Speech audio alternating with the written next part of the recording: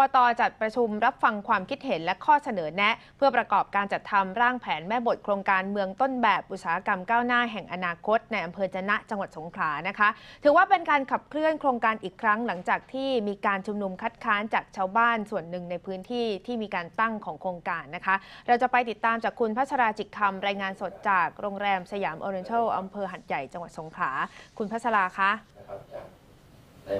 การประชุมของสอบตวันนี้ค่ะ เป็นการประชุมเพื่อที่จะพูดคุยกับตัวแทน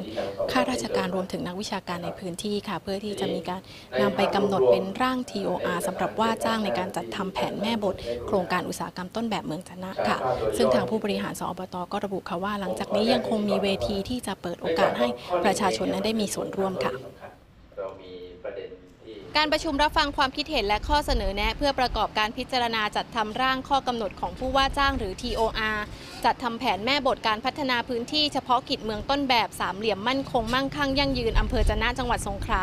หรือว่าเมืองต้นแบบอุตสาหกรรมก้าวหน้าแห่งอนาคต วันนี้สอบตจัดขึ้นโดยมีการเชิญตัวแทนข้าราชการ และก็นักวิชาการในระดับพื้นที่จากหน่วยงานต่างๆ มาร่วมให้ความเห็นและข้อเสนอแนะค่ะ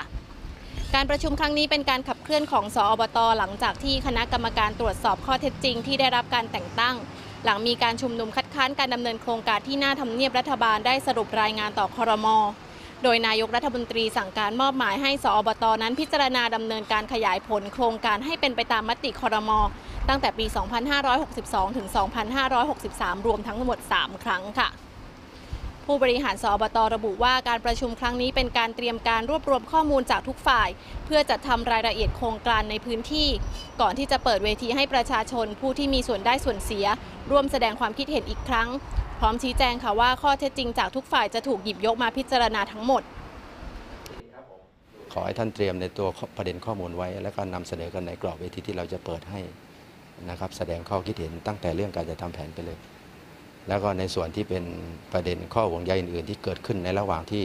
ได้ชะลอโครงการแล้วมีข้อมูลใหม่ หรือข้อมูลส่วนในเกี่ยวข้องท่านก็นำมาเสนอได้ ซึ่งจะมีกรอบในการที่จะนัดหมายแล้วก็ให้แต่ละส่วนเนี่ยได้นำเสนอกัน ผมคิดว่าเวลาในค่อนข้างจะเปิดให้ค่อนข้างจะให้ครอบคลุมกับประเด็นที่เรามี